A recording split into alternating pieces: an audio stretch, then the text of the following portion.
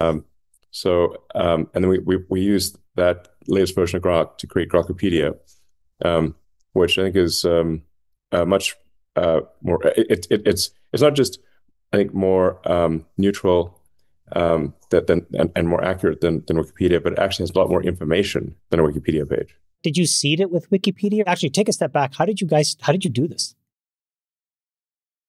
Um, well, we used AI. Uh, but meaning like totally unsupervised, just a complete training run on its own, totally synthetic data, no no seeded set, nothing. Um, well, it, it, was only just uh, recently possible for us to do this. Um, so we've um, we've we, finished training on a maximally truth seeking, uh, actually truth seeking a, a version of Grok that is good at cogent analysis.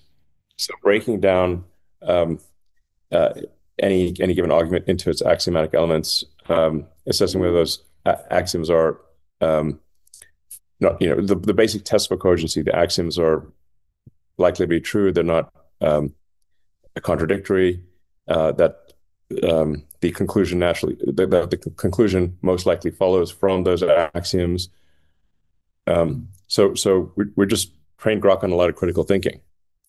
Um, so it, it, just got really good at critical thinking, um, which was quite, quite hard. And then we t- took that version of Grok and said, okay, cycle through the, the, the million most uh, popular uh, articles in Wikipedia and and add, modify, and delete. So um, that means um, research the rest of the internet, um, whatever's publicly available, um, and correct uh, what correct the Wikipedia article, some fix mistakes, um, but also add a lot more context.